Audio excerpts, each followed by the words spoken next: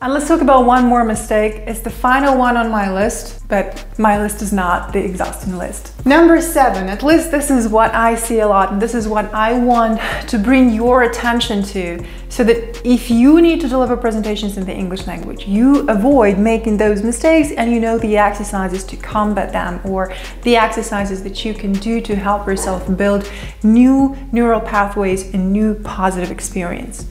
Number seven is inner state. The mistake is that people do not invest their time in learning to manage their inner state. They learn the text of their presentation. They want to learn better English, even though their English skills are already very strong and very good. But they spend more time improving their pronunciation, learning new words, learning new grammar, and they absolutely do not put any effort in managing their inner state. But that is the most important thing when you present, especially when you present in second language. Because look, it's a fact, everyone is anxious. Everyone is nervous when they have to present, even in their first language. But if you need to communicate with clarity, if you need to deliver powerful ideas in your second language, you know, if you already are doing this, you know how much work it takes and you know how much time and effort it requires. It's not about words, it's not about grammar. Yes, it is about practicing the language, but it is mostly and most importantly about you. You are the message when you talk. Your inner state will define how people will feel around you if you present to them in one room.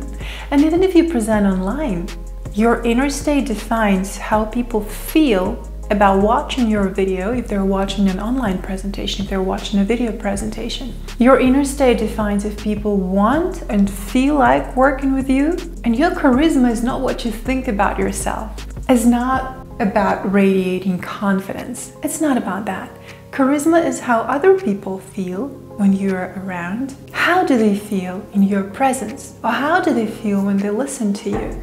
Most people do not ask themselves this question. They only care about delivering a beautiful presentation. They only care about saying the right thing. But what we really want to care about is are we actually understood? Is our message received on the other end?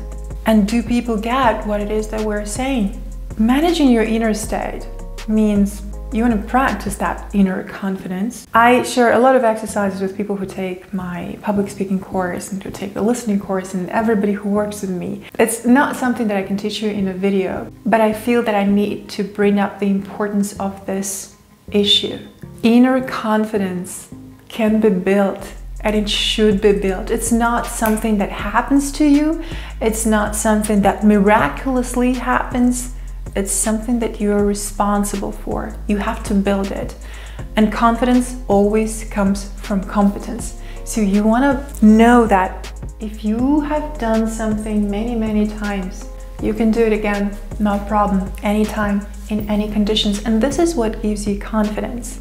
So there are a lot of exercises to make sure that your energy is stable, it's not all over the place. And I'm not talking about meditation practices because meditation practices usually, well, at least the way people use them, people use them to relax and to expand their consciousness. God knows where. They don't really know what they're doing. They just want to relax and forget about all the negative emotions or they want to suppress the negative emotions, they want to suppress their anxiety and pretend they're not anxious.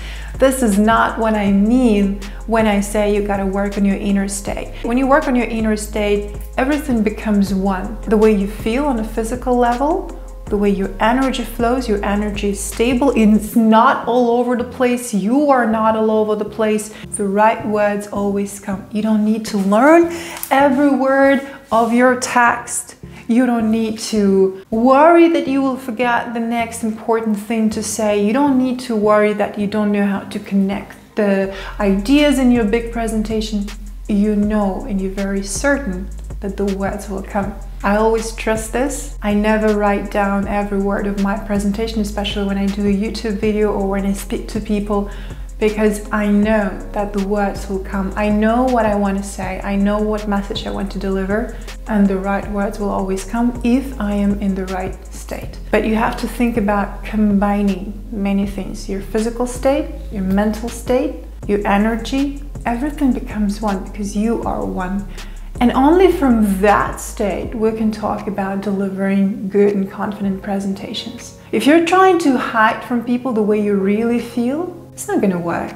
Everybody's gonna feel and everybody's gonna see how you really feel. We all know this feeling when kind of you you feel like you can tick all the boxes and the person is saying all the right things, but the whole message just feels like you don't really know. Feels either flaky or just off, or you're not really sure what is wrong, but you feel that something is wrong. People can feel so many things. They cannot always articulate what it is that they're feeling and why they're feeling this way, but they always feel a lot of things. And this is what we want to learn to do too.